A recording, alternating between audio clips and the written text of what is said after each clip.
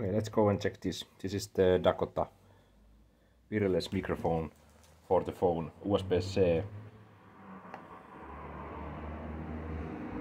Multiplayer shooting and there is picnic picture, live streaming, vlog recording, uh, six and a half hours working time. And that is the reason why I did get two. So there is the version where where is only one and then there is version where where is two microphones and I take the version with two microphones. You can see the microphones here and then we have the receiver and then we have the accessory box here and in the accessory box we have the dead mouse or the windproof for the microphones I don't know how you install those but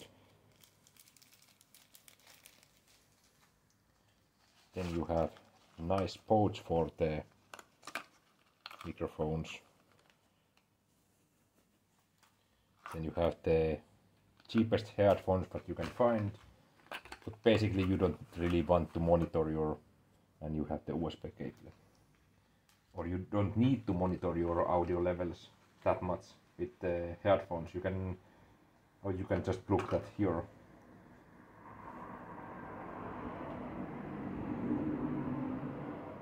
there is the microphone inside and then the the pin proof or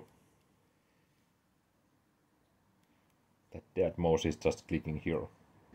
So the now the other microphone is stuck in the pairing mode. That is not good. So I need to go and return the whole damn package and they don't have uh, more these products in the stock right now in the the nearest shop so I just take my money back and use a wired microphone in the car and phone microphone outside of the car. The manual says you need to press power on and three times power button in 10, 10 seconds.